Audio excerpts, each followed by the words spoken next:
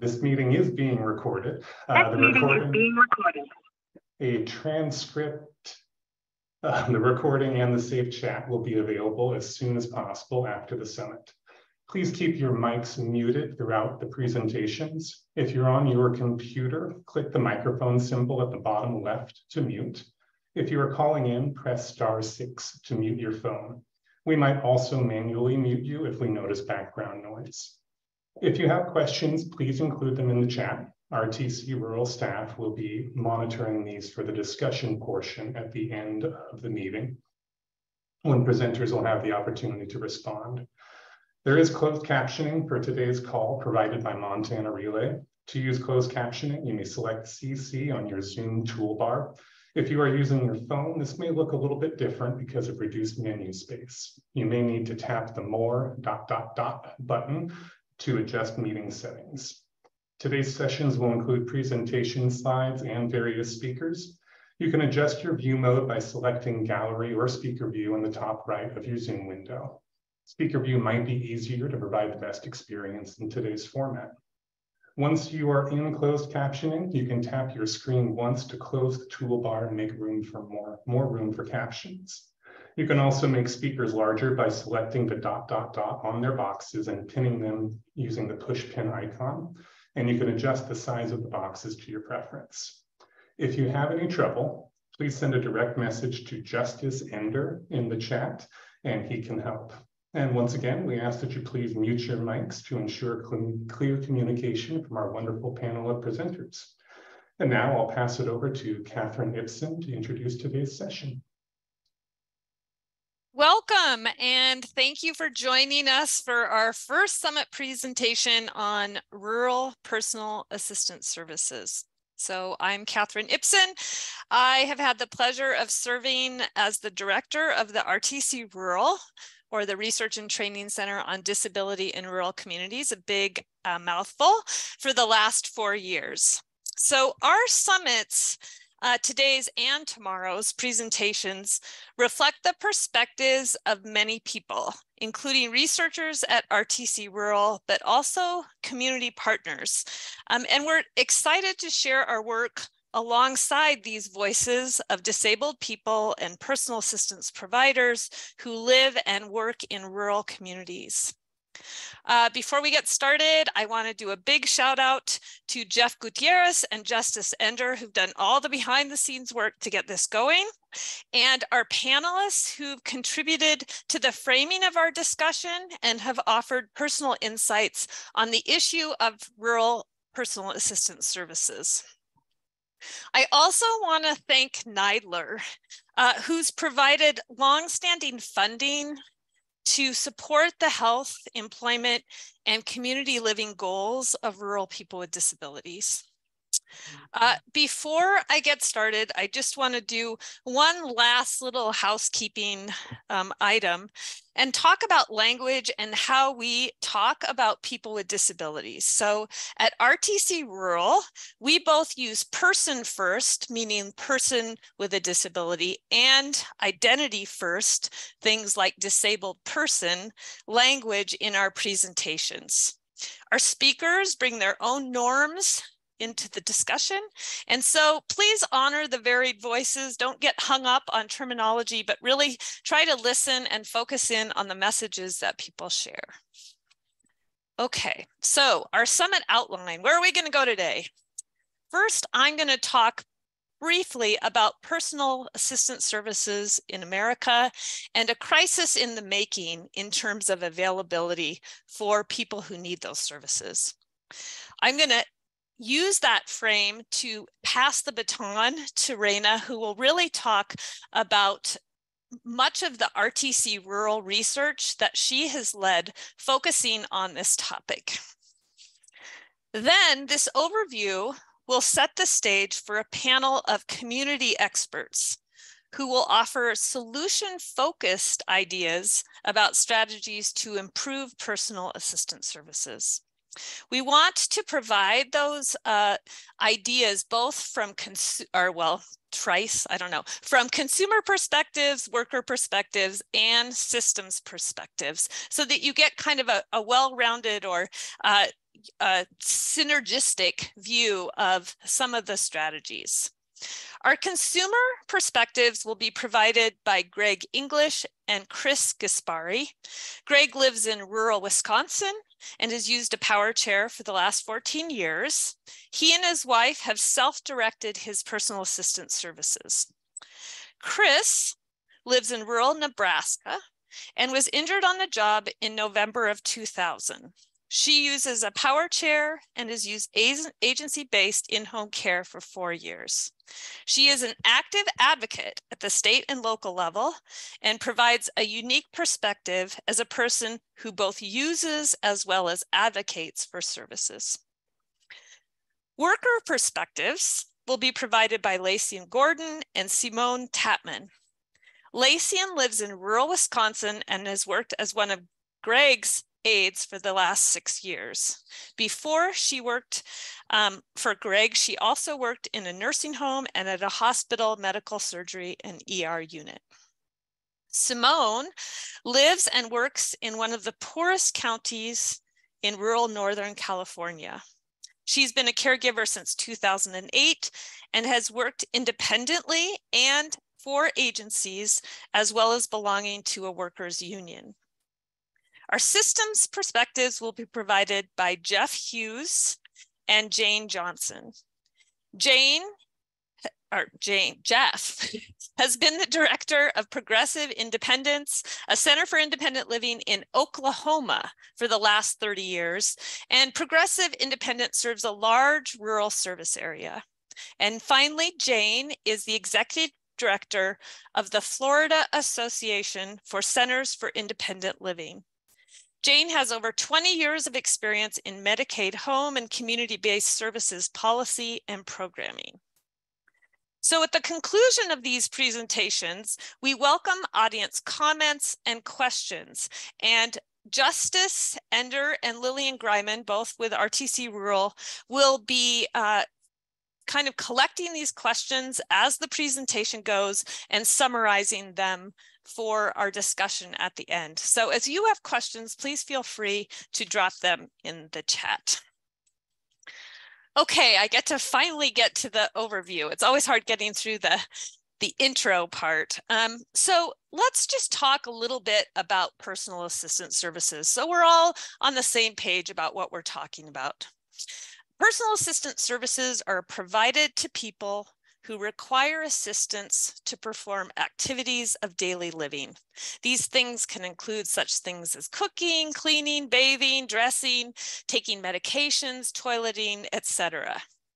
Personal assistance services support independence and life quality, and they are cost effective relative to nursing home or congregate care settings. So they actually have a positive benefit in terms of cost. They also have positive benefits in terms of values. It allows people to live in their own homes. It allows people to remain close to established friends and supports, to participate in and contribute to community life. And uh, not a big surprise, people prefer personal assistance services to other assisted living options. Demonstrated in an AARP uh, study in 2021 that found 77% of adults age 50 and older want to remain in their homes over the long term. People want to be in their homes. We there is a converging crisis in terms of personal assistance services in the US, which is shaped by both supply and demand. Now I come from an economics background, so this is this is my language. We got supply. Supply is personal care aides and it's shrinking. Why is supply shrinking? Because wages are low. The average personal a care attendant makes $14.15 an hour, according to the Bureau of Labor Statistics. There have been lots of exits from the healthcare sector across the whole healthcare sector as a result of COVID. So 1.5 million jobs were lost in the healthcare sector in the first two months of COVID. And although, there have been rebounds in terms of people coming back into those health sector jobs, they are still below pre-pandemic levels. Uh, a study conducted by Mercer indicated that by 2025, home health and personal care aid shortages will be 446,000 workers. And the, there have been additional and substantial exits due to retirement that are continued to move into the future. So the supply is shrinking. There also is a increased demand. So while supply is going down of workers, there's actually more people in the population that will require care. The aging population is expected to increase from 54 million to 95 million in the next 40 years. 70% of that population is expected to need some basic assistance in the form of personal care. There are increasing rates of disability, both in terms of uh, more disability at a school age level and chronic conditions at school age level, but also an estimated 23 new uh, individuals with dis, uh, disabilities as a result of long COVID. And the projected demand for healthcare workers is expected to grow 25% by 2031 which would require 924,000 new people entering that workforce. Now, I'm going to just give you a little bit of, um, can you back up, uh, Jeff? Just because I'm not quite there yet. So I'm just going to give you a little bit of economic background in terms of, so in a capitalist society, this problem isn't supposed to happen. It's supposed to sort itself out. Uh, demand is always supposed supposed to kind of equalize into supply. So higher prices in terms of wages will increase the supply. People will enter the market and people won't demand as many services because of the high prices. These forces do not work well in any type of healthcare, including personal assistance services. So first demand, regardless of price, people rely on PAS to live. Demand does not shrink based on price. Only the hardship that people experience due to the lack of those services. In terms of su supply, strategies to increase supply, such as higher wages, are hard to implement. Lags and politics associated with Medicare, Medicaid, insurance programs make reimbursement rates difficult to change. And the convergence of this crisis creates a situation that is dire and is growing more dire with each passing year.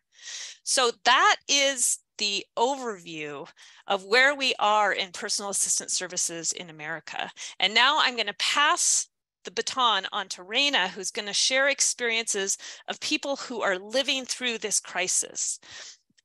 Before I do that, though, in the spirit of positive change, I want to highlight that our panelists will offer personal, environmental, and system strategies that are really meant to both increase supply and minimize demand. So we're not here just to express how awful the situation is, but to really try and focus the conversation into the future. So with that, Raina, take it away.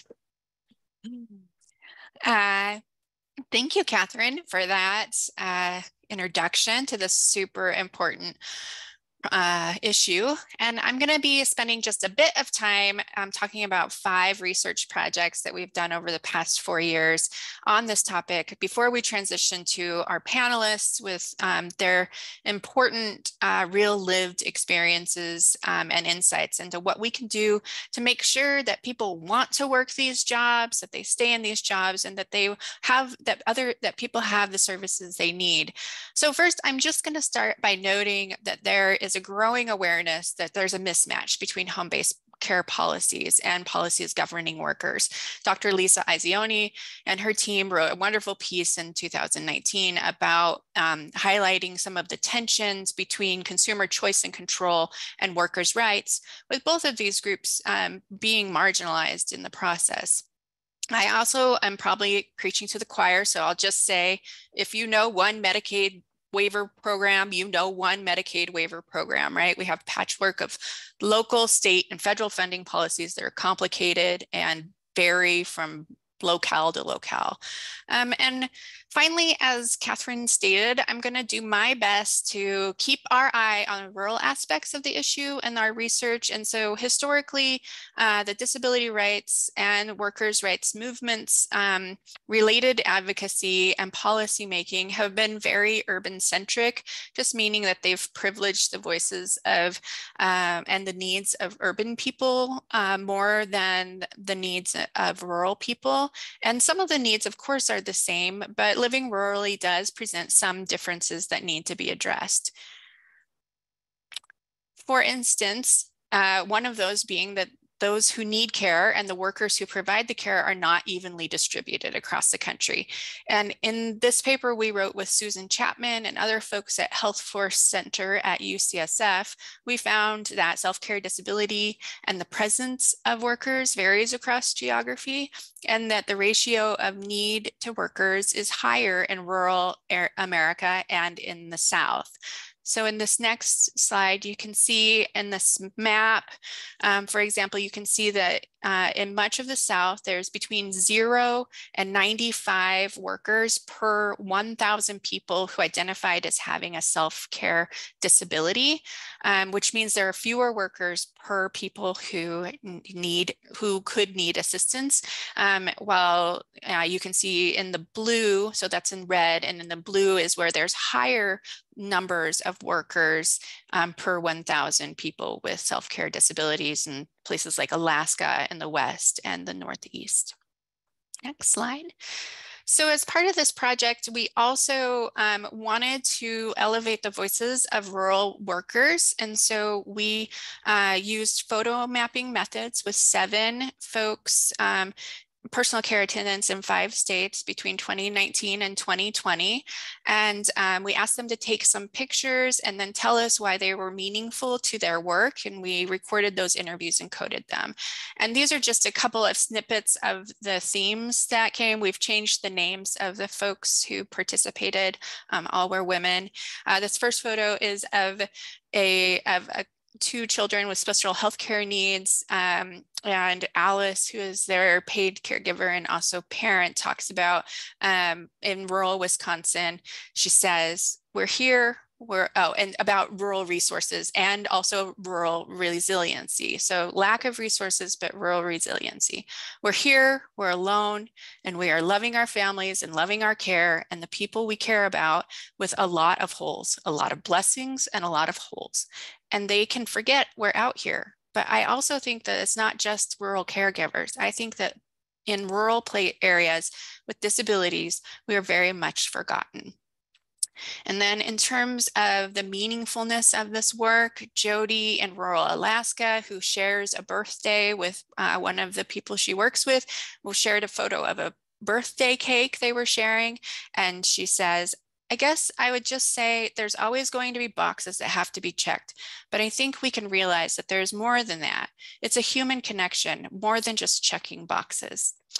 And then a third theme uh, around community participation and how critical these services are to make sure that people can live and be in community.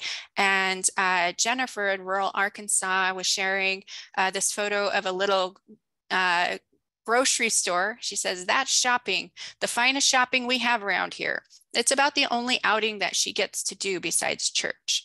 So, um, and then finally, this piece about relational work of rural caregiving, which again, not all of these are unique to uh, rural places, but some they may be more important or be viewed differently. So this photo of a uh, home with a rainbow in the back and Sarah in rural Northern California shared um, I'm glad that there's this program so that you know that they can get the help they need and the love they need and the care they need. It's just in me. I think I was just born to do this. And so highlighting um, the that piece of what who are the workers and what are their kind of perspectives. There's a story map related to this that we will share um, that you can view later. Next slide. Um, so I'm not going to belabor this one because I I find it uh, more boring. Uh, we did do a we did do a survey though of um, of uh, to do an urban rural comparison of low income primarily medicaid sample of consumers that um, consumer direct care network um, helped us recruit. And um, and what we found is that there's not a ton of differences between rural consumers and urban consumers especially in this low income uh, mostly Medicaid um, consumers, but looking at, um, we did find they were more likely to be white, more likely to be self-directed, had lower rates of difficulty dressing and bathing, compare, but also much higher rates of difficulty for running with running errands. Um, and so, uh, and reported total fewer disabilities. But so we took all that information and we said, okay, well, let's look next slide. Um, let's look at the qualitative pieces. And this was all guided by an advisory board of um, consumers and service providers.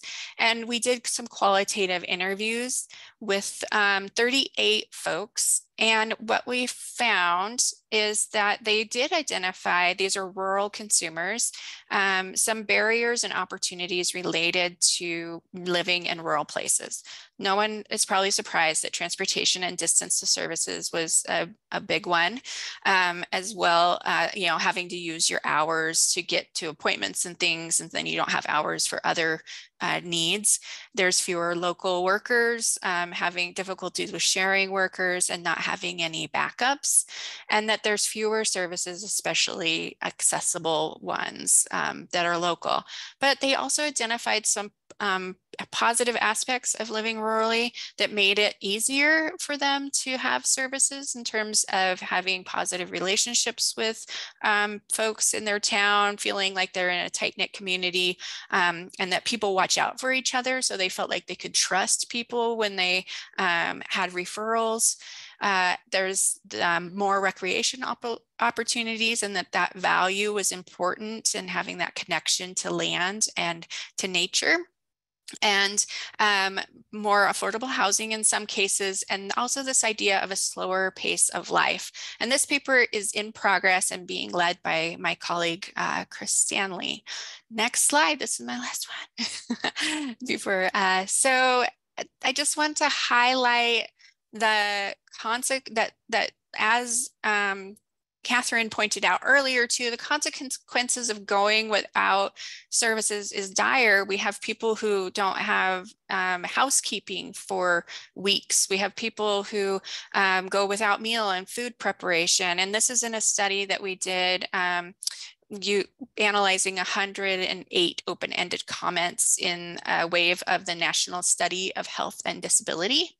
And um, while it was COVID specific, uh, this this quote really highlights that um, by Lee, a 49 year old mother of two with um, a disabling chronic illness, says, uh, you know, this, this isn't a new problem. COVID has made a bad situation worse. It didn't break a well oiled machine, it just sank the already sinking ship a little further under.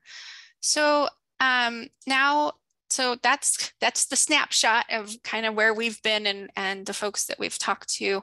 And now we want to switch gears to our panelists and their lived experiences related to finding or recommending solutions for building and maintaining a supply of high quality, reliable workers in rural places.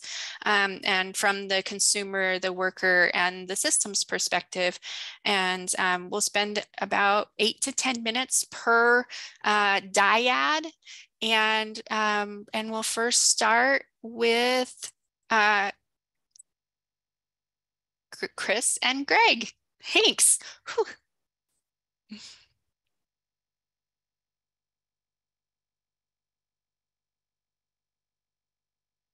Chris and Greg, you'll need to unmute yourselves at the bottom or hit star six if you're on the phone.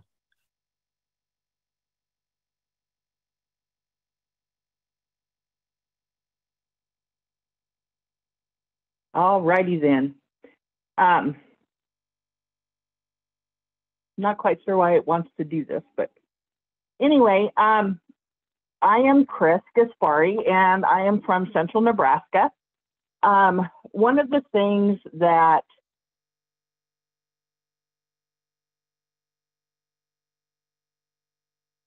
Oh, Chris, you muted. You got muted again.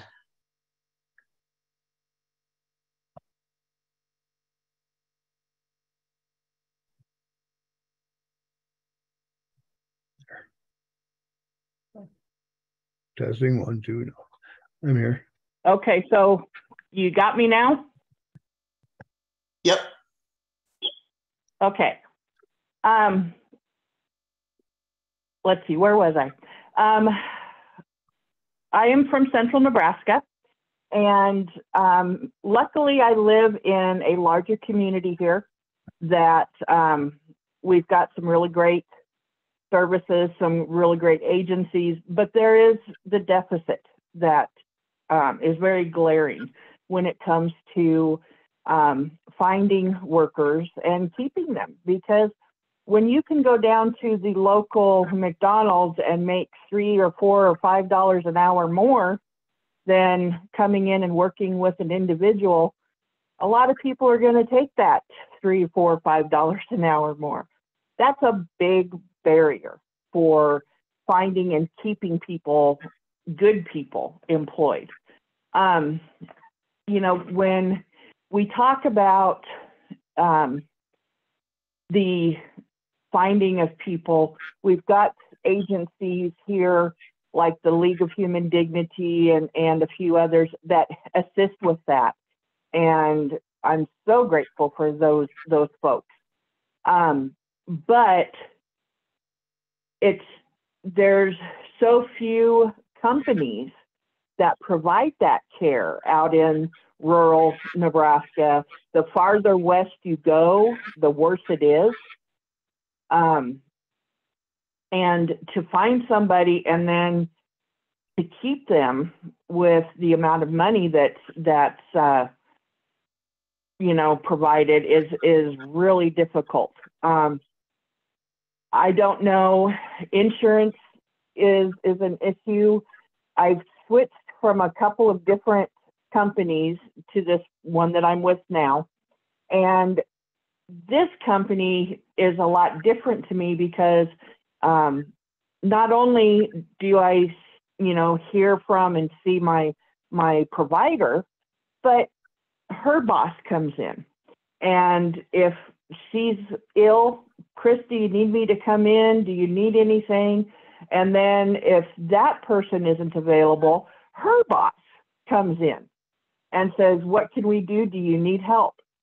That is really reassuring because where I've been in the past, um, I've been without when I came home from the hospital after having COVID last year. I came home without a provider. And that's a very scary place to be.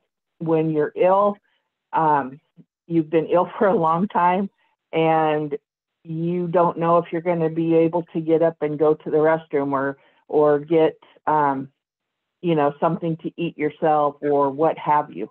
Um, that's a really that's a scary place to be. And um, a lot of people get trapped in that as well. They they stay in their homes and they isolate and don't think they need any assistance because they don't go out and they don't go um, to do anything for themselves um, you know uh, the word of mouth is such a big thing because if I find somebody that's good or a company that's good, by gosh, I'm going to tell other people that I know that are in my situation. And if you can have that good working relationship with the people that you go through, your agencies or or um, other disability resources, and talk to people, communicate, communicate the needs that you see around you as well as ones that you're going through that is going to be what helps us to move forward and what helps us to, you know, say, hey, this this is not acceptable. We need to move in this direction. And um, you know, having those those um, agencies, those service coordinators and things that are able to help us when it comes to making decisions about our health, making decisions about coming in and having someone work with you and um, you know do you trust somebody enough to take and you know go run errands for you if you're not able to right then those are the things you know that are really really important. You have to have the trust. You have to have the um, ability to communicate so that you know where you guys are at you know where you're sitting at where your provider is at and getting out there and just being able to get the word out that there are services. So many don't even know that these services exist you know um, i i could go on and on. But um, you know i i really am, am very grateful to have been able to be a part of this. And you know um, greg from wisconsin uh, he's got a setup that is fabulous and i so want to copy him you know Mm. because it works and you can see it works. And so you know dear greg i'm going to be copying you except for the you know put your wife as a superwoman thing but you know. So greg here i'm going to pass it off to you. I guess um I'm from northern Wisconsin basically and uh um up here the people seem to be a little maybe maybe friendlier as far as getting you can talk to you can approach people you can talk to people um Mhm. I've had really good luck with with getting my own people. Um, I mean, we, my wife and I, pretty much uh, recruit. You know, no matter where we're at, if we, you know, somebody we're talking to somebody, oh, my daughter is doing this or whatever, is well, really, does she maybe want to do something on the side? You know, um, and we've had really good luck doing that. Um, I, I guess I hate to say it, but I almost got to get sick to get people because we, you know, we do it in when I'm in the hospital. We're always recruiting. Uh, um, Mhm. emergency room. Uh, you know, it's it's uh, in fact, I have a couple yet that have been with me like six, seven years already, and um, that's how we recruited them was through that system. Um, Mhm. I guess I'm not that bad a person. Maybe I don't know. That's a no. Uh, we, uh, my, my wife just went. "Hmm." Um, as far as treating them, treating the people, I mean, we treat them. I mean, they're appreciated, and we tell them that all the time. You know, and, and we Yes. tell them they're doing us a favor by coming here. Um, we always, if we're talking to them, hey, why don't you come over someday and just see what's going on? You know, what you'd have to do, and and um, you know, they'll come over and and and we tell, encourage them to bring, you know, boyfriends, husbands, parents, whoever, you know, just to show them that it's, you know, not it's a legit thing. Um, as far as equipped, my house is really well set up. Um, I have an overhead lift that takes you through the house. Um, uh, walk, walk in, roll in shower that's like five feet by six feet. Um, you know, the bathroom was completely redone for, for, you know, getting under the sink and whatever else. Um, you know, so that doesn't hurt either. Um, Chris know, and I Greg, guess- we've got about one more minute before we've got to close up and move on to the next portion. Yeah, um. As far as, uh. With the, with the girls that we do get. I mean, I always tell them, you know, if you can't come here with a smile and, and a sense of humor, don't come. Um, you know, so they kind of, they come in here pretty, pretty, uh. You know, relaxed already, I guess, from that standpoint. Um, Mhm. And we, and we don't, we don't, uh, you know, if there's a problem, we always try to have them involved with helping solve it. Um, you know, make it a team thing instead of just us saying, hey, we're gonna do it this way and that's it. Um, so I, um, you know, and that's always pretty well received that way. Uh, Lacey Ann is on Mhm. here. I think she's one of my girls and I've had her for, I think, six or seven years now and um, maybe she can give you some, I, Yeah. her, I don't really joke or play tricks on too much, but um, Yeah. yeah, this is great. It's just a nice, Greg, nice segue to Yeah. the to the next Mhm. one. Um, so Lacey Ann and Simone um, was going to be on with us today, uh, but she is in Northern California and she reached out yesterday and I'm a little worried that there's no electricity where she's at at this point. Mm. So uh, Lacey Ann is is with us to provide some worker perspective on um, what makes it easier for you to get personal care aide jobs and stay in them. Um, and so, if you want to talk to that, or um, Sure. Um, with my experience, I'm like I love my job. I don't know if it's because it's Greggy makes it so easy for me, but it's been a delight helping out, and I am like super dedicated because I know that Greg and Lisa are depending on me to show up to work, or even to help out when the other girls can't. Which it is good that we have this new scheduling system because it shows me like if somebody um, filled in for that day or if it's a day that I can go in a little bit later because I do have a full-time job. So the scheduling system that they have is like working out super good for us this year. And as far as it going to um, other in-home aide jobs, I haven't had any since then because technically I don't really want it to interfere with my time helping out Greg and Lisa because I've been offered to help other person, but th that's not something I could do full time and maintain um, insurance all, and all of that thing since I'm a single mom. So I basically just do that on the side and be there for Greg and Lisa because now they're like literally family.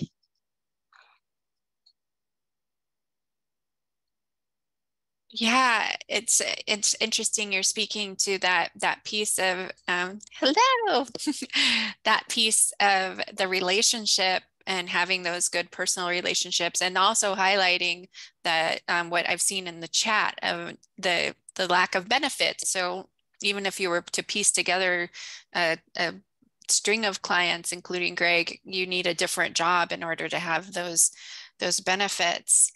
Um, if Yes. Simone were here, oh, sorry. Oh, and one more thing, I know they do offer OMEL through the healthcare system that we live in. The Aspirus system does offer in-home, but my perspective on that is that you don't get to really build a relationship with your clients because your clients are changing so often you really don't know. Because now i have a routine with greg. When i go in i do this i do that and then we move on from there. But if i'm working for like an organization it would be 10 different clients every now and then. I'll see this person then don't see this person or filling here and there which i don't really like that because then you can't develop a like a personal relationship and let that person feel comfortable. Because working in healthcare i know sometimes persons do get like offended being that i'm younger and i have to assist them with daily adls but at the end of the day, I just want them to feel comfortable knowing that they'll have somebody that respect their privacy and all of that stuff so that we can develop a relationship where they can come to me and ask any any simple task that they want to want me to do. I don't have a problem with doing that. Yeah, great. Thank you, Lacey Ann. Um, and I will just only add just a little bit about Simone's perspective from California. She's a, a member of a union, um, and that you know has been beneficial in um, you know feeling like it's she's valued and um, there's better pay and um, and supported in her in her role. in that. So I think we can switch to systems perspectives now. So what systems level factors can we change to increase the supply of workers in rural places? And to speak to this is uh, Jane and Jeff. Did I go first? I'm, yeah, go ahead, Jane. Hi, everybody. My name is Jane Johnson, and I'm the executive director of the association that represents Centers for Independent Living in Florida. And we do have quite a few areas of our state that are rural. So um, I know our Centers for Independent Living hear from consumers all the time about the difficulty, although um, it's this is obviously not just a rural problem, it's an urban problem as well. And I wanted to talk to you about a couple of different ways of looking at how to solve this problem beyond um, advocating for doing the right thing, because um, we've been doing that for decades. Personal assistance services reimbursement from traditional sources like Medicare and Medicaid have been too long, too low for too long. Um, and they often get caught up in um, looked at as a, as a typical wage um, and compared to, to the same salary someone would make for an eight hour day. Um, but most personal assistants um, don't work a full eight hour day with one person. They usually come in for one to two hours and then move on to someone else if they have another person that they work with. So looking at the hourly rate as if it's um, comparable to an eight hour day hourly rate is is not a realistic construct. So one of the first things I would recommend is that um, in trying to look at how the systems can be changed and leveraged is to change the way you look at this as an occupation because it's not an um, it's not like a an hourly wage earner um, rate and so but because of that people would need to earn more per hour to, to make it a reasonable uh, career choice for themselves but i know in um, in, in any kind of health and human services work, you get what you incentivize. And rather than advocating for what's right, sometimes you need to figure out, well, how can we incentivize both the payers and the pool of workers to come into this field and fill this gap? And for the payers, um, in many states on the Medicaid side, those have become managed care organizations, and those are large, publicly traded corporations who answer to their shareholders in terms of um, how much profit they can earn for the company. And so trying to make the argument to change the way that personal assistance services are reimbursed by Medicaid or Medicare if, if a managed care organization is administering that program. Um, I think it's important to take a look at the, the aggregate cost of caring for someone who's not getting the personal assistance services that they, re, they rely upon to live in the community. And for many people, that would mean living in a more expensive setting, like an assisted living facility or a nursing home, or potentially having a preventable hospital stay. And so, if you can make the fiscal argument um, and actually show the data, you use the numbers. That map that was shown was is um, a really great example of how you can take data and present it um, to make a credible and compelling argument to support what you're saying. But um, CMS, the Centers for Medicare and Medicaid Services, and the Administration for Community Living have, for the past several years, really encouraged states to look at something called value based purchasing or uh, bundled rates, where you don't reimburse. Um, the, where the, the federal payer system, systems don't reimburse based on a per service basis. You, you take an outcome and you bundle a, a package of services needed to produce that outcome and you come up with what's called a bundled rate or a case rate. And bundled into that could be the rate for personal assistance services. And by putting it into one large rate it would give the ability to pay more for personal assistance services than the medicaid program would currently authorize or advertise. So um, it's complicated but it's doable and a lot of states have made a lot of progress on there. There are a lot of people who have studied this issue for a long time. But I that would be my first recommendation is to um, you've got to incentivize the work and you've got to incentivize the payers to want to pay more for the work. And to do that, you need to look differently at the payer systems and um, and realize take advantage of the flexibilities that come with managed care. Um, for a long time, um, people with disabilities have shuddered at the idea of managed care because it it um, I think people associate it with less services and managed care means less care. Managed care means limitations. And it doesn't have to mean that because you can work within those systems to get a better outcome uh, by um, using some of the creativity that's allowed in a managed care system um, in combination with a Medicaid waiver program. Medicaid waivers are exactly what they sound like. They're it's a waiver of the traditional state plan requirements for Medicaid that gives allows states to be more flexible to provide a package of services that some of which are medical and some of which are non-medical, um, addressing some of the social determinants of health. Um, another thing that you can leverage is the fact that managed care organizations that deliver Medicare and Medicaid services are required to have a, an adequate provider network to serve the consumers that are enrolled in their plans. And if they don't have enough personal assistance services providers in their network, then they are in violation of their contract. And um, advocates and consumers should be aware of that and know how to work with your state Medicaid agency to make sure that if someone is living in a rural area and they are receiving home and community community-based services funded by Medicaid, but there are no providers, then that that Medicaid managed care organization should not be receiving a monthly per diem for those services because they can't deliver them. And that that is a contractual requirement. So I think you can leverage that to you don't want to get punitive because then you kind of destroy the relationship that you need um, with with the with the organization paying for those services but it's an opportunity to bring them to the table to talk about how what you can do to try to um, try to incentivize more personal assistance services some of the things that managed care organizations can do with the flexibilities that waiver services allow things like paying for um, broadband services so that a person can have access to the internet, reliable access to the internet. They can pay for transportation, possibly Uber services for the PCA.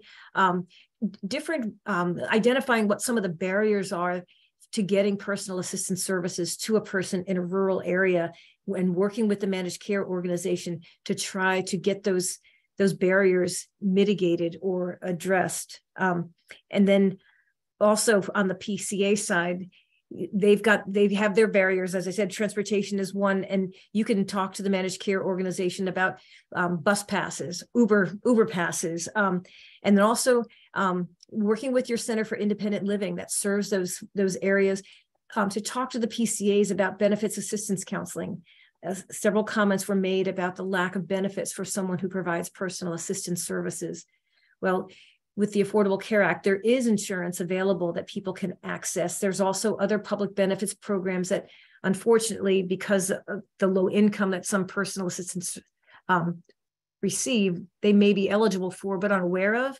And so, um, leverage the the existing infrastructure that's out there to serve people with disabilities um, by having the, the consumer with a disability call a Center for Independent Living and, and get in information about benefits assistance that their PCA may qualify for to help make that PCA whole, to help fill the, the financial gaps that that person may have so that working, providing personal assistance services is something that's more reasonable and more realistic for them. Another thing, I think, oh, Jane, I was going to say, I think that's a great segue to Jeff, who is uh, at a Center for Independent Living in Oklahoma and thinking about that systems level.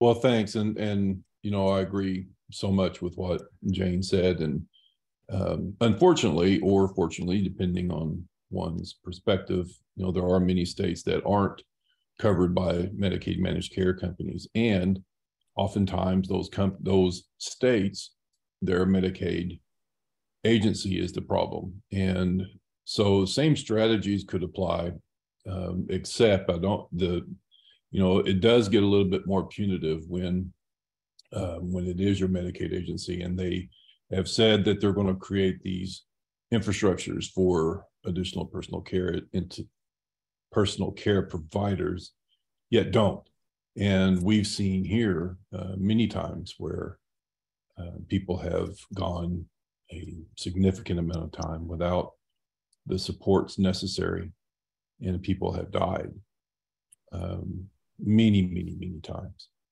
And that was a result of our Medicaid agency, period. So the way you know things are here right now, um, it is like a breath of fresh air to have um, an MCO coming in or a couple or three, however many that are going to be here and to work with people with disabilities to make it a priority to address these ongoing challenges that uh, people with disabilities continue to have. Transportation, social determinants of health, housing in particular, um, healthcare, personal care assistance, all of those types of scenarios that has been left to the state and under the Medicaid waiver programs and state entities that are created for other purposes, even though they receive funding for these services. So it's really interesting dynamic when um, those types of issues occur. And during COVID, as we all just um, are buckling down for what seems to be another round of stuff, um, here there was everything. I mean, like many other places, everything was shut down. Um, there was not uh, masks. There was not personal care uh, attendants. There was not anything getting to our community, and that was left to the centers. Thankfully, um, you know, we were part of that uh, stimulus money, and we were able to get additional resources to our communities to help with that personal care model um, to get personal care aides into the communities, to get PPE into the communities. Um, whereas nobody else was out here doing it. Everything was shut down. There was nobody. Um, transportation wasn't running. It was left up to us. And so it got me thinking, okay, you know, of course we partnered. Um, I'm not going to say that we did not partner with MCOs because we did. Um, and it was fantastic. It really provided some really good resources for us uh, to get additional supports when it was when we really needed it. So in in addition to all the other Medicaid, the the Medicaid concepts and programs that are already available, you know what does really need to happen to address the ongoing needs. Obviously, it's going to be the pay. Obviously, it's going to be the health the health care or benefits that a person gets um, a career ladder or possibly even um, forming a union. But is there stopgap measures or is there something in addition to that that needs to also take place? And yeah, I think that there is.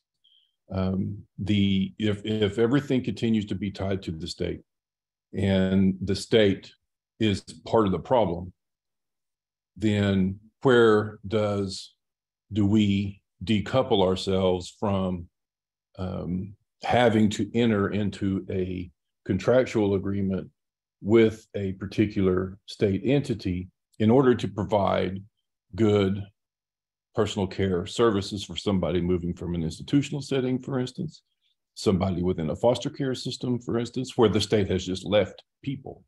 And it is, um, these issues are often politicized and um, people just go without. So, you know, that we have talked uh, with the National Council on Living. We have been talking pretty um, a great deal around creating additional funding streams and to support um, the existing funding streams as well. So if we have another um, amount of money like we did with the stimulus to where we can the centers can utilize that to support people with disabilities when in emergency settings or on weekends or uh, helping people move from institutional settings and then um, or people who are homeless um, then we don't see um, all of this political mess as much and people going without um, we don't see that nearly as much and so i'm hoping and planning that we will see some effort going into that in addition to I do feel like with the Medicaid managed care that this is a um, a large area, a big area where uh, we do need to capitalize. There are some really good um, MCOs. Um, there are some that aren't so good. Um, but it is up to us as people with disabilities to help those um, other MCOs come along, provide better education to them, training, support, whatever it is, because if that's the direction that all of this, the healthcare systems are going to go in the next um, 10 to 20 years, then they're here for a while. And finally, the um, health disparities and that we have within different populations and where people live. Um, you know, that is something that our state in particular has just been um, awful at. And this is yet one more aspect of things where I think MCOs could be uh, really helpful. And the final piece that I'll talk about here is um, for way too long, the uh, social determinants of health related to housing, access, transportation, healthcare, all of that stuff has just been kind of ignored.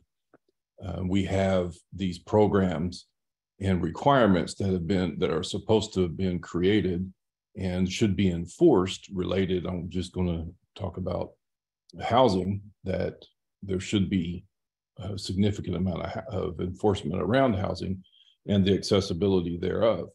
And unfortunately what happens all too often here is that a, a caseworker case manager social worker whatever you want to call them um, you know they'll help somebody get into a home or an apartment that may not be accessible to their needs, and then they'll just try and patch um, the support around the inaccessibility component of the home, such as um, not having a place where a person who uses a wheelchair can um, independently cook or clean or uh, get into the bathroom or whatever, and then utilize that personal care aide to to support that person from that point on.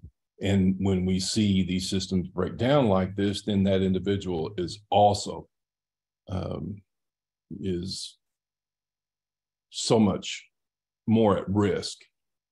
And obviously, we've all seen too many people that have gone into nursing homes or other institutions or um, hospitals because of not being able to properly live independently. So that is also that also means that we have to in, ensure that we are enforcing these rules, enforcing the fact that these homes, co apartment complexes, housing units that are constructed for people for accessibility purposes, they must be um, constructed in the proper way so that people can independently um, cook, clean, do whatever it is that they want. And then from that point on, if they need additional personal assistant services and support it that way, but not in a way um, to just get somebody into a home that doesn't address their needs, because then, of course, we have all these other factors that come into play. Jeff, that is that is such a great segue into the next part of which is what you just summarized how um, one factor, accessible housing, uh, makes it so that you don't need as many services or the, the types of services you need are different. So now we're going to shift we want to make sure we have enough time for questions. So we're on a 20 minute, we've we've gone over, surprise, we all have a lot to say. um, and we're gonna, so we have 20 minutes um, to talk about decreasing demand. So um, we'll start with Greg and Chris again, and just talking about um, building on what Jeff has talked about, factors that influence your need for services. And um, home modifications was something that came up a lot. and you'll both need to unmute again. Uh, click in the corner or star six if you're on the phone. Okay. Can you hear me? Mm-hmm. Yeah, okay. Um, one of the big things that Jeff brought up, the home modifications and accessibility and such, I was on a waiting list here um, in Nebraska for three years to get an accessible apartment. Now, our agency, the housing agency here, works with a lot of folks with disabilities. There's oh, I think there's 20 units here out of 100 that are accessible. Um, which I'm very grateful for. And I waited because I had an apartment that I could go in my wheelchair, go into my living room, and that's as far as I could get. Um, otherwise, it was not accessible. And I lived there for 11 years. Um, when I first moved in in last April here into my accessible apartment, I went into every room, including the pantry, and I bawled. I cried because I could ex- have total access to my entire apartment. And a lot of people have no idea how that feels. But imagine being to where you could only walk, go into your living room, but not any of the other rooms in your house. And to get in and out easy. It's it's a huge thing. And it, it's also a thing of um, safety and you know being able to um, maintain um, a healthy entrance and things for like when I went to the hospital with COVID. You know, that it was they could not get the the stretchers in. so, you know, there's a lot of different issues there. Home modifications, assistive technology partnership here in Nebraska, um, I know does an amazing amount of work with that. And they do home modifications and vehicle modifications and all sorts of things. A lot of people have no idea they exist. They're, you know, they're doing a lot of um, com- commercials and things like that now, which is wonderful. But agencies have to work together too, you know, to say, hey, okay, our agency doesn't cover this, but this agency over here really works well with folks. So let me get you in touch with them. Let me help you fill out the paperwork, whatever the case may be. Because the more the agencies work together, you know, it, it all trickles down. You know, the agencies working together, the the agencies paying for the uh, personal assistance, the whole nine yards. It all works together, and um, we have to make sure that we take some of that advocacy back, especially as people with disabilities, and make sure folks know that hey, we need more affordable housing in our area. We don't have it go and get get mouthy you know be to where you are visible in your community and with like your um, town councils and things like that don't don't stop you know waving your hand and saying hey i'm here. Because every single person deserves that opportunity to live the best life that we can. And you know I have to say this the other night with all of our ice and snow that we had here, we have the only store I can get to with my wheelchair um, did not want to clear their sidewalks. So I was out in the middle of a four lane street, which is not a good street to be out in the middle of anyway. so, you know, I asked them who their their snow removal people were. They said, "Oh, well, that's the city's responsibility." No, guess what? We have to take responsibility. Everybody does. And so they'll they're getting a letter from the city to make sure that they understand what their responsibility is. We need to let each other know what's our responsibility. Build from there. You know. So I will shut up and let Greg come in.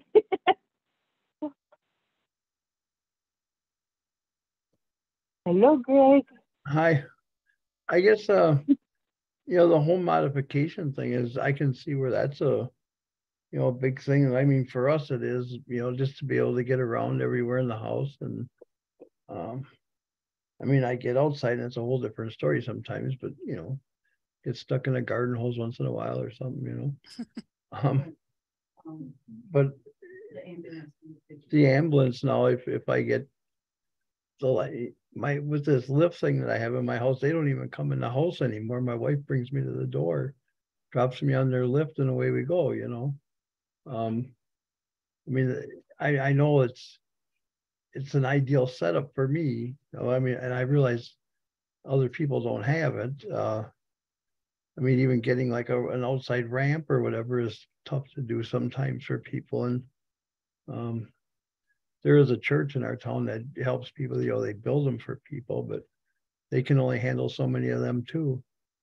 Um, I, I mean, like I say, we've, I've got a, you know, porch lift or whatever, you know, it takes you up and, you know, lifts you up and down and, um, like I say, they were, they've, they've been good to me and I guess the big thing to tell people, if you don't, if you don't ask you, you're not gonna know.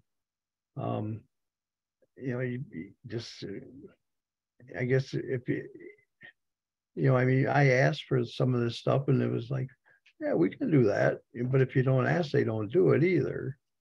Um, so I guess, like I say, we've we've had it had it good that way, and um, I don't know. I Yeah.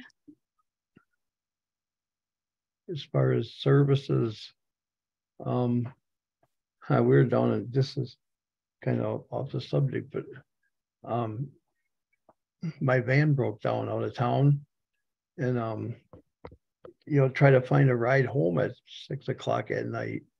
You know, um, we finally found a guy, a private person, you know, just to drive me home. It cost me a hundred bucks too, you know, and uh, but like I say, that you, you call these taxi places.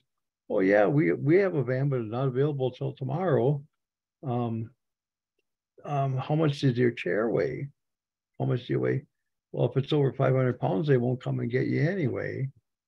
Um, you know, there's a lot of education I think that needs to be be done that way too with people or with like some of these you know bus services or whatever that you know why aren't they ordered heavy enough to handle this kind of stuff i guess um Yeah. so Those I- are, yeah. um that's that's my big pet peeve i guess is some kind of you know the outside of the house more than you know like the sidewalks like you referenced with snow and ice on them. I mean a lot of them you, you just drive on the street all winter it doesn't even pay to try to go down them um Yeah. That's so those are super, yeah. The the you and your your lift system in your home was um funded through the partnership with the with the well, the the state manage, yeah, the state and the and the managed care organization in Wisconsin. And so, but then now we need more for the for the outside and more yeah yeah, because people want to. Well, let's switch gears to the worker perspectives. And Simone, thank you so much for joining us. You know, Oh, you're don't- welcome. I'm sorry. We have a, we had a technician here for our heating and cooling. It completely broke. And so we have to get um, a new unit. Fun, fun, Oh, fun. I'm so glad you're here and that you're safe-ish. It sounds like from the storms at this Oh, point. yeah, we're up, we're up in the woods, sort of, not the woods, trees. We're in the trees. Okay. So we're, we're up high enough. The flood won't get us unless we need to drive somewhere. Then we might be in trouble. But yeah, thank you for having me. Well, yeah, and I don't know if if you feel is it okay if I just put you on the spot to talk a little bit about what factors improve your ability to provide high quality services and some of the we talked about home accessible things and you and Lacey can spend about 5 minutes talking about about that. Okay, that's fine. Yeah. Yeah.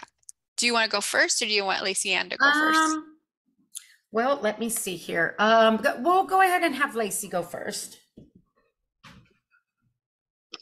Okay, so with the accessibility, it's been working out so far great because when I first started, Greg already have his lift. So it was just basically learning how to operate the lift. And as far as anything that is needed within the household for us to do our job on a daily basis, um, we just have to tell him and make sure that next time when we go in, um, that's available. So it's basically just the communication between me and him. And one thing I want to point out is that it's, I would take on more clients if there was like a organization or a program that we could join. So that way we can get the benefits and all of that that comes with the job. So you can, you know, be more, because with doing healthcare, it makes it it's like fulfilling my need for helping persons. Even though I have kids, it is really, really uplifting for me. Like I know when I go there and Greg is smiling and he has all his stuff done on time and he's out the door to like enjoy his day outside. That's been that would be like such a pleasure doing that all day. But as I said, if they could enforce or come in with a program that would help us to gain more clients where we could like even pay for our own insurance, that would even be better. Yeah. Thanks, Lacey Ann. Okay, well, um, I live in uh, Lake County in California, and we are actually the second poorest county in California. We used to be first. I don't know who's more poor than we are, but um, anyway, um, we don't have a lot of. Um, well, how do I put this? Um, so through our public authority, the IHSS program, we are not provided with uh, much assistance from the county itself. Uh, like when the pandemic first hit, uh, we were responsible for providing our own gloves, our own mask, um, sanitizers, and things like that. Um, so uh, th- we were kind of limited. Um, right now, I'm just taking care of my daughter who is autistic and I don't have to do a lot because she lives with me. But uh, my previous uh, client, um, mm, he is a piece of work. I, um, anyway, the place that he lives in is um, a senior living facility. It's not assisted living, but it's senior living. And the nice thing is that they do make the apartments um, bigger um, the showers are you just walk into them. There's no tub to have to deal with. Lots of grab bars. Um, and I'm looking at the list. Safety, yeah, it's it's relatively safe there, although anybody can come in and out during the day, uh, probably unnoticed by the staff.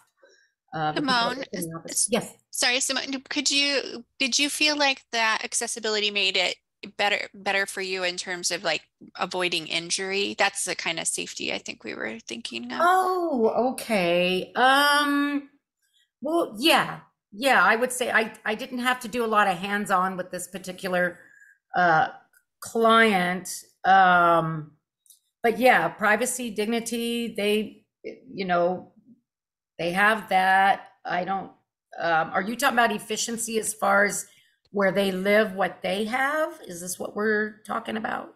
Yeah, I think when we talked to about um, the privacy and dignity pieces, you were mentioning like that um, even when people age in home, um, that as their health declines, they're not able, if they're not in an accessible home, they're not able to go like into the privacy of a bedroom because they're stuck in a bed in the dining room. Oh yeah, um, yeah, those kinds of things. yeah. So, but with this with this particular client, you know, he he had his own little apartment and his bed was in his bedroom. Um, the ability to spend more time on meaningful activities. Um, wasn't a whole lot of that going on. I mostly just took him to his appointments.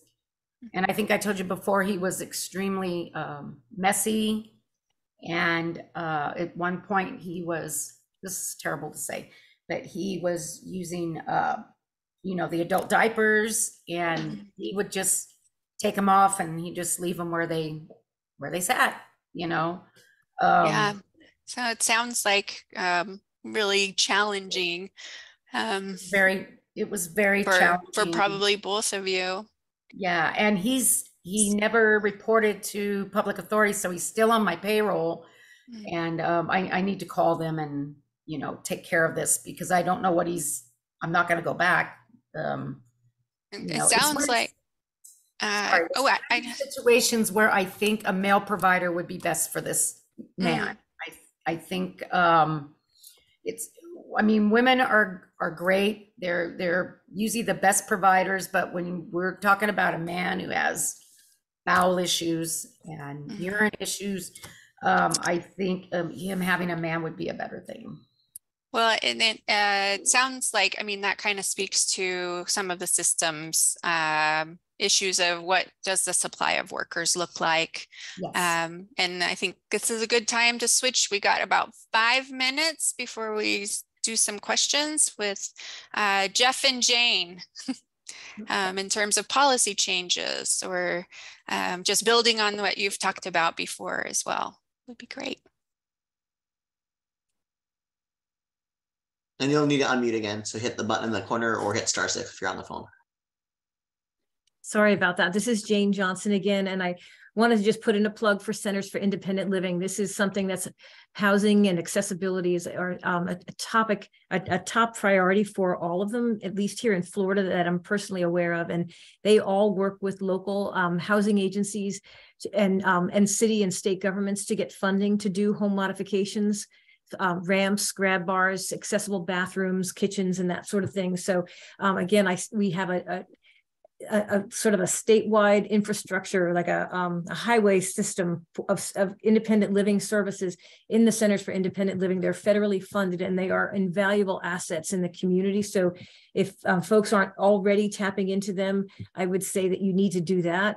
The second one is a little bit non-traditional, but AARP, the American Association of Retired Persons, has made livable communities a priority for them. It's a legislative priority. They work, um, unfortunately, oh, fortunately or unfortunately, seniors have a lot of political clout, way more so than people with disabilities. They get the, the attention of legislators for a variety of reasons.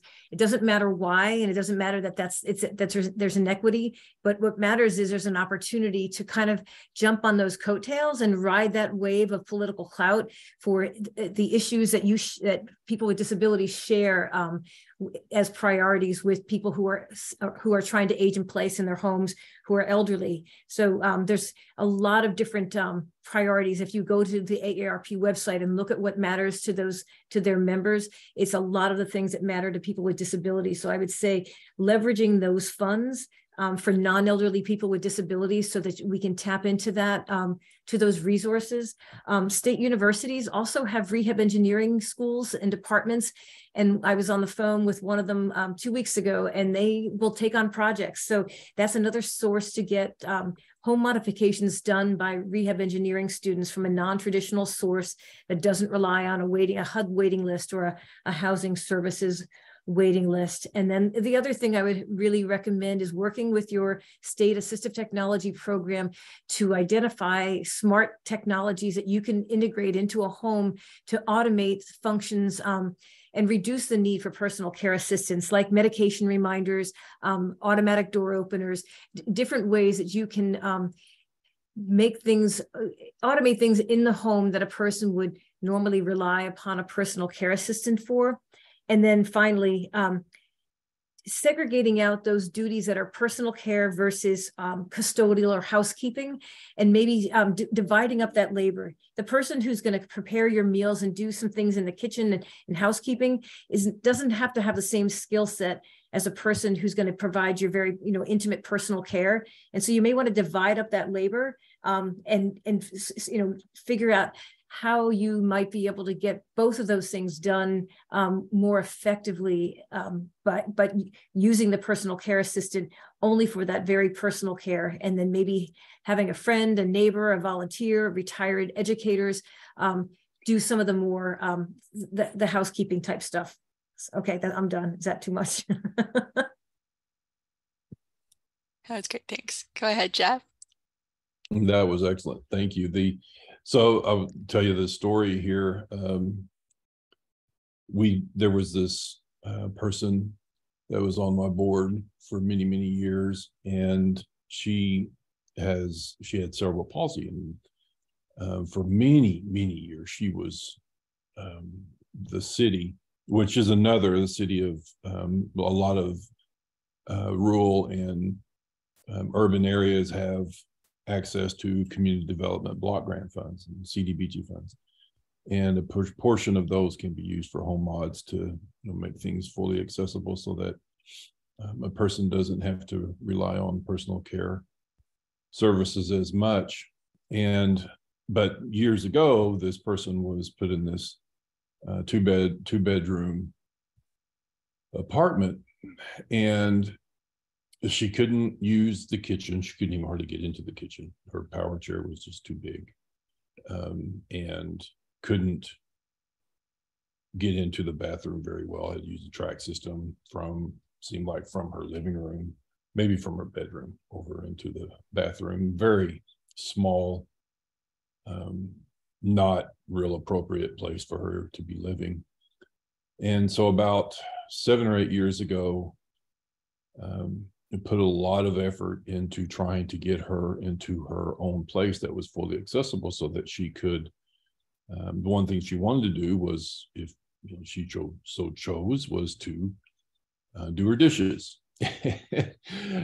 God knows why. Um, so anyway we uh, put about $25000 with um, the cooperation of the city into this one unit in the two bedroom apartment. Fully accessible very nice hardwood floors every feature that you could possibly imagine um, where she could roll up underneath the sink she could roll up underneath the stove she could do just about everything independently. Um, unfortunately she died over the weekend and um, you know that was one of those really good things that we wanted to see happen um, before she did pass on. Um, but at the same time, while that is a really good story in partnering with the our city of Norman, as money becomes less available, as there are competing priorities with other populations, uh, people with disabilities, accessibility in general, um, will often lose out um, to something or some other group that is popular at that particular point in time. So, cannot illustrate enough of the importance of being engaged and involved in making sure that we're utilizing everything that we possibly can um, to make our communities accessible, the livable communities, the uh, the buzzword this week or the buzzword next week. You know, it's always about a different population first.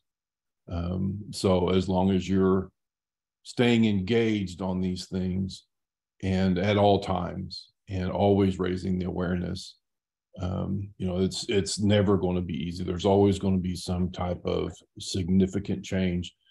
Um, you know, every time I look at the social determinants of health, I just get more and more frustrated over the fact that there hasn't been so much more to address the challenges around personal care services and um, just access to healthcare, access to any type of service in general.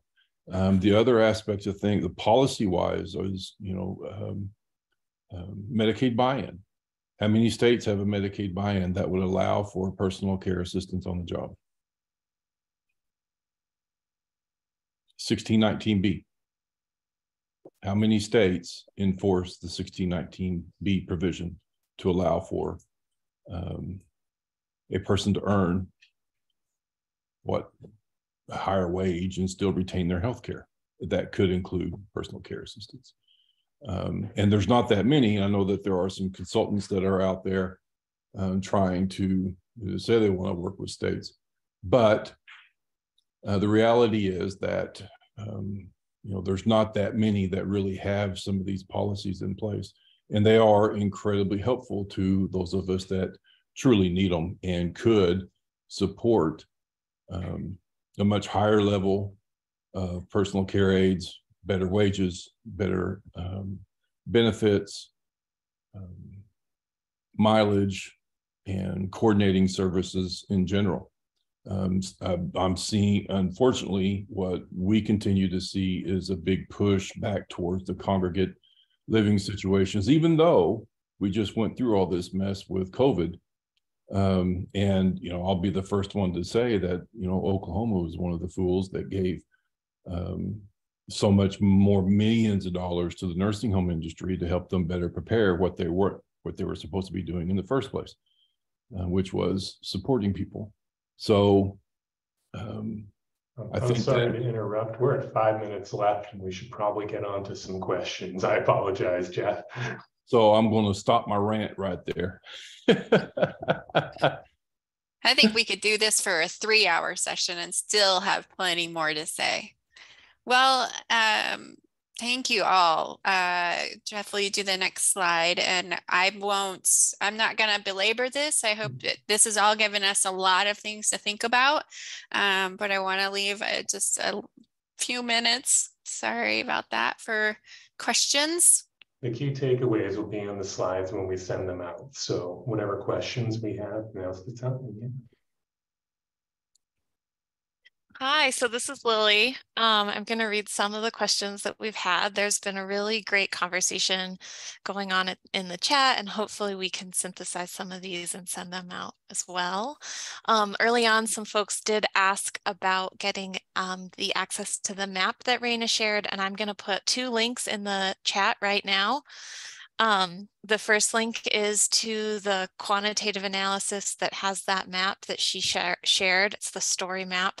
Um, I can link to the journal article too. And then the second one is a link to the qualitative story map um, where uh, uh, she also shared some photos and quotes from folks.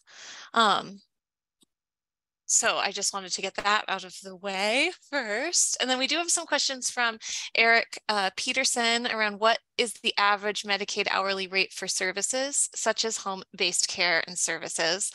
Um, and I want to just follow up on that, that folks then did, he also had a question around do caretakers get benefits in which there was a good rich discussion in the chat. And so we'll be able to answer that a little later. But if anyone does know about the hourly rate, you either put that in the chat or unmute yourself and let us know. I know here in Nebraska, and I cannot say that this is a, a rate through Medicare or Medicaid, but um, two of my previous helpers, their pay rate was twelve dollars an hour, and um, the my helper now goes. She's through a different company, and she makes fifteen an hour. And I do think um, phiinternational.org, PHI, will somebody write that in the chat, or I should, um, has some really good data, as well as I think Catherine has some, how it varies state to state about Medicaid reimbursement. And this is Jane Johnson in Florida, and I'll just comment that this, the federal payers, Medicare and Medicaid, usually pay by the visit. It's not like an hourly rate. That's kind of a misnomer. Um, and if you go through an agency, then the agency will bill the federal payer, Medicare or Medicaid, for 20 or $25 an hour and then reimburse. They'll negotiate um, a visit rate with, with the workers, which is usually about half of what they receive. So to the extent that a person can um, hire someone directly through a consumer directed care option, it'll allow you to pay um, your, your workers more or um, in here in Florida, we have a program where we can reimburse people for their personal care assistance services if they are not on Medicaid. And so we see rates anywhere from $12 an hour to $25 an hour for people on that program, but they can receive up to $2,100 a month in a um, stipend from us for to help offset those costs that they're paying out of pocket. Thank you. And I know we just have one minute, so I don't know exactly how we want to proceed, but I do have another question just um, and maybe people could get connected in the chat from Maria in Colorado asking if anyone is working with any USDA rural development programs around accessibility, um, if anyone has experiencing uh, partnering with the USDA. Um, and maybe that would be a good way to put some info in the chat and get connected as well. Brian in Colorado, AgrAbility, Great. like ability in agriculture, AgrAbility. Yeah. Thank you. Yeah, that's a good program. I Yeah. think South Carolina just got an AgrAbility as well. Maybe some other. And Florida did as well, which was the reason we had that conversation with the rehab engineers. So that's a great opportunity um, to, to not so much increase the supply of personal assistance, but to reduce the reliance um, through technology and automation. Mhm. Yeah, Nebraska has it as well. It's both supply and demand, right? Yeah. Well, this has been such a great conversation. Um, we will send out the slides. There's some additional um, uh, resources, and the National Council on Aging has just recently uh, has the a direct care workforce capacity building center that is funded through NIDILRR that we definitely people should keep an eye out um, for what they're doing. They've got some great partnerships. Um, and I just really thank everybody for coming. Jeff Gutierrez, do you have anything? Do we need to say anything else? Housekeeping? No, no more housekeeping. Appreciate everybody's involvement. This was a fantastic session. Thank you everyone for coming and sharing and your lived experiences. Really good. All right. Until until tomorrow. Oh, we got a plug. We should plug the digital one is tomorrow. So if you're not already signed up, rural digital access tomorrow. Same bat time, same bat channel. Actually, in different bat channel. All right, folks. Thanks so much. Thanks, Thank you so much. Bye.